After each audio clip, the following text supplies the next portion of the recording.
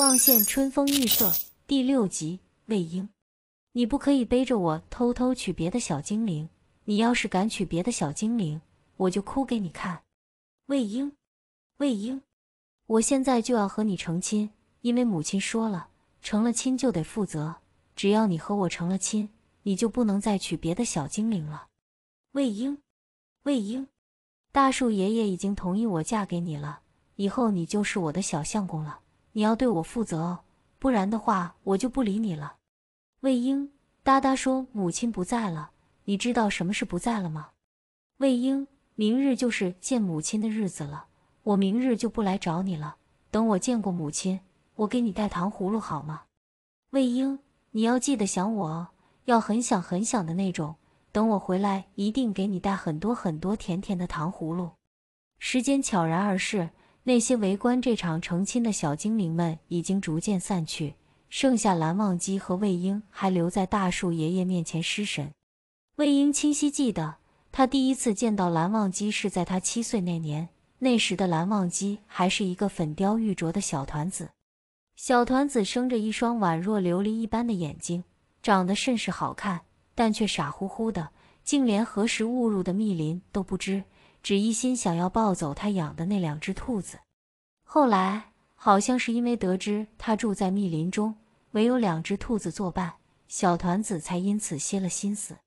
但是自那以后，小团子便经常往密林中跑，哪怕得知了林中住着吃人的精灵，小团子依旧没退缩，得空便来找他，吵着闹着要和他做朋友。那时的魏婴很是迷茫。他自知自己是个不幸之人，遇上活泼的小团子究竟是福还是祸，他也不知。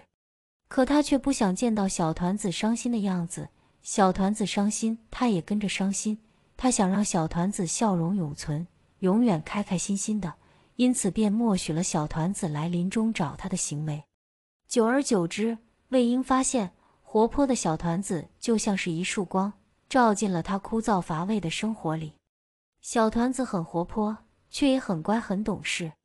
他犹记得，小团子在得知他身上的秘密以后，只是自己偷偷躲起来，很伤心的哭了一场。之后若再在林中碰了摔了，小团子都是自己擦擦眼泪，然后鼓励自己坚强的爬起来，再也没提过想要他抱的事情。小团子第一次说要嫁给他时，是在小团子亲眼见到林中的精灵成亲以后。小团子害怕自己日后会娶别的小精灵，便哭着说要做他的小娘子。那样的话，自己以后就可以永远陪着他了。那时两人都还是懵懵懂懂的小孩，一个七岁，一个五岁。何为爱情，两人并不知，但魏婴却知。自打他第一次见到小团子时起，他的心里便已悄然埋下一颗名为爱情的种子，在日复一日的陪伴下。这颗种子迟早会破土发芽，开出一朵名为爱情的花。就这样，在小团子一番撒泼打滚、言语威胁下，魏婴终于带着小团子来到大树爷爷面前，拜了堂，成了亲。自打两人成亲以后，小团子愈发的黏魏婴，两人之间永远都是甜蜜蜜的样子。但转折点却发生在几个月后之后。几个月后的某一日，小团子的母亲不在了。那时，小团子不知何为不在了，便来问魏婴。然魏婴只剩心疼，却也不知该如何跟小团子解释。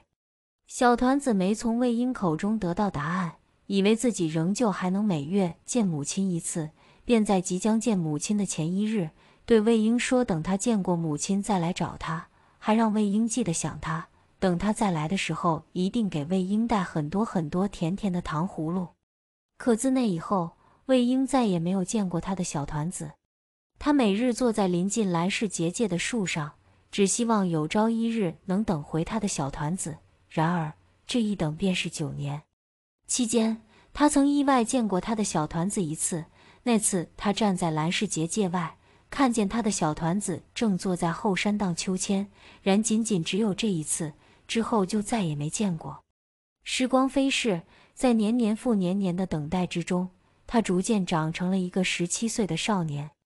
待他再次见到令他朝思暮想的小团子时，他的小团子已经十五岁，褪去了幼时的稚嫩，长成了一个翩翩小公子。可是那个他等了九年的小团子，却将他和那些幼时的回忆忘得一干二净。不过魏婴虽很难过，然能在有生之年再见他的小团子一面，他已经知足了。魏婴明明有什么东西即将浮出水面。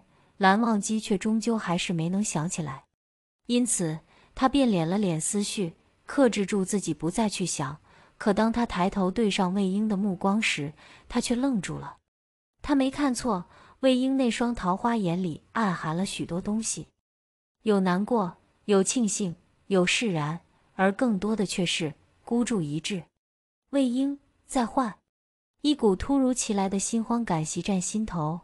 令蓝忘机惴惴不安，他不假思索脱口而出：“你会永远陪着我吗？”魏婴从回忆之中抽离出来，闻言便是一愣。蓝忘机手一紧，再次重复：“魏婴，你会永远陪着我吗？会吗？会永远陪着我吗？”沉默良久，魏婴垂了垂眸，避开了蓝忘机的目光，笑着道：“别害怕，我会陪着你的，永远吗？”明明魏婴已经给出了答案，蓝忘机却总觉得魏婴的这句话是在刻意避开“永远”这个字眼，这让他心中惶恐不安感愈加强烈，说话的语气也急了些：“你永远不会离开我的，对吗？”呵呵，两人相隔两步远，半晌，魏婴轻轻地笑了起来，道：“天下无不散的筵席，天下无不散的筵席。”听到这话，蓝忘机浑身一颤。他眼眶突然泛红，险些直接哭出来。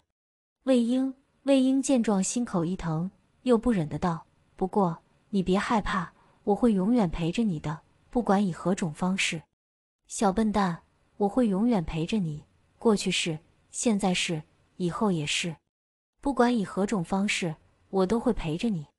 转眼间又是一载，冬去春来，烟雨迷蒙笼罩着大地。白露死在了又一年的春天里。这一年，魏婴十九，蓝忘机十七。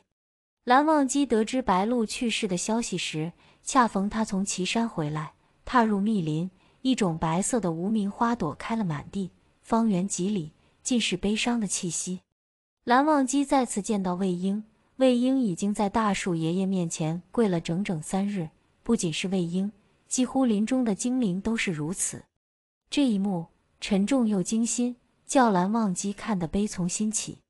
今年以精灵的尸体种下，来年的春天便会开出一朵离别之花。身后似有声音传来，蓝忘机转头一看，愣住了。黑熊前辈，树影下，一团硕大的黑影对上蓝忘机略带几分害怕的眸子。他尽可能的收敛了自己身上肃杀的气息，让自己看起来平易近人。嗯。有兴趣听个故事吗，小公子？黑熊是一只为数不多的会说人类语言的精灵，虽不知因何断了一条腿，然它在林中地位依旧颇高，亦是林中较为危险的存在。半年前，蓝忘机同魏婴曾在林中遇见过几次，黑熊似乎很关心魏婴。对于跟在魏婴身边的蓝忘机，有时候会意味深长的多看两眼，却也没有表露出恶意。眼下许是怕蓝忘机有所顾虑，黑熊又保证道：“放心吧，就算是为了阿英，我也断不会伤害于你。”蓝忘机微怔，无声点了点头。因这断了一条腿，黑熊走起来速度有些慢。他走在前面，蓝忘机便在后面默默跟着。他们穿过一片蓝色忘忧草，在花海的另一边停了下来。这段距离刚刚好，离大树爷爷较远。却也保证了花海中的魏婴始终落在蓝忘机的视线。知道这片花海的由来吗？黑熊慢慢的在花海边缘趴了下来，蓝忘机站他身侧，他说着便望向花海，眼里是画不去的悲伤。这种花名为离别之花，是死后精灵的尸体所化，每一朵花都代表了一个死去的精灵。离别之花，蓝忘机琉璃眼微微一睁，听完黑熊的话。他心里顿时对这片花海升起了敬意，他没去接话，静静地听着黑熊继续说：“白鹿大人的尸体也将会被葬在这片花海，待明年开出一朵离别之花来。”提到白鹿，黑熊眼中的悲伤肉眼可见地浓烈了几分。小公子，你可知为何阿英是精灵，却又不是精灵？闻言，蓝忘机微微侧手。